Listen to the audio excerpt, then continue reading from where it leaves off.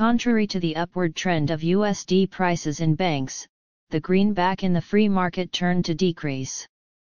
Commercial banks increased the USD price by 10 to 20 VND, Vietcombank bought at 24,640 to 24,670 VND, sold at 25,030 VND, ACB bought at 24,650 to 24,680 VND, sold at 25,020 VND.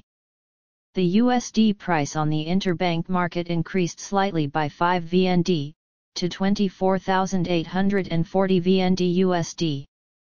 On the free market, the greenback price decreased by 10 VND, down to 25,240 VND for buying, 25,340 VND for selling.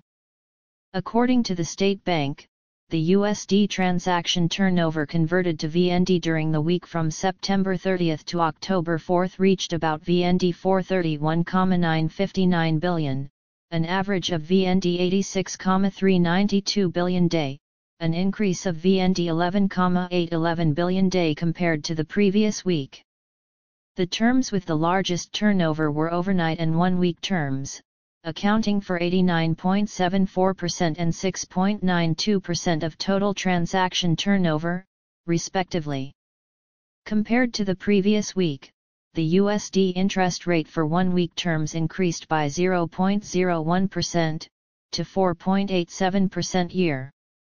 For the remaining terms, the USD overnight interest rate was at 4.83% year, two weeks at 4.87% year, one month at 4.9% year, three months at 4.97% year, six months at 4.75% year.